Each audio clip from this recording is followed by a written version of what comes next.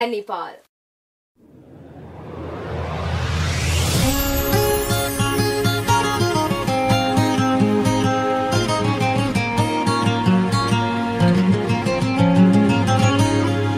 ਮੇਰੇ ਯਾਰ 17 ਸੈਕਟਰ ਜੇ ਕੁਝ ਦੇਸੀ ਤੇ ਕੁਝ ਐਕਟਰ ਜੇ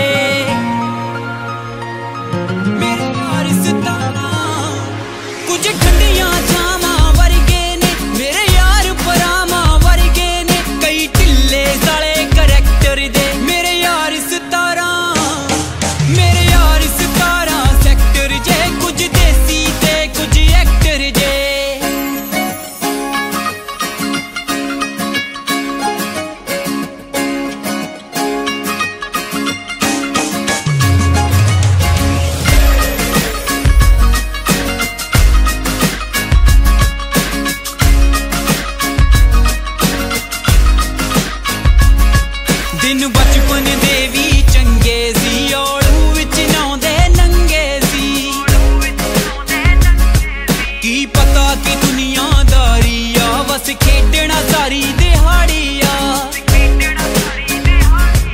ਦਿਨ ਬਚਪਨ ਦੇ ਵੀ ਚੰਗੇ ਸੀ ਔਲੂ ਵਿੱਚ ਨਾਉਂਦੇ ਨੰਗੇ ਸੀ। ਕੀ ਪਤਾ ਕਿ ਦੁਨੀਆਦਾਰੀ ਆ ਬਸ ਖੇਡਣਾ ਸਾਰੀ ਦਿਹਾੜੀ ਆ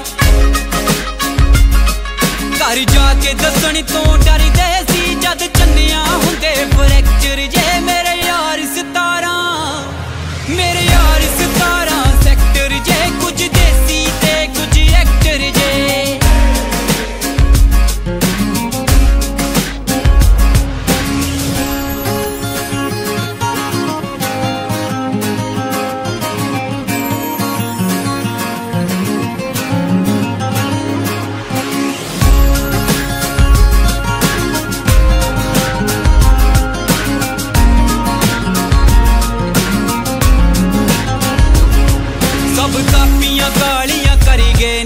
ਕੁਝ ਉੱਜੜ ਗਏ ਕੁਝ ਬਣ ਗਏ ਨੇ।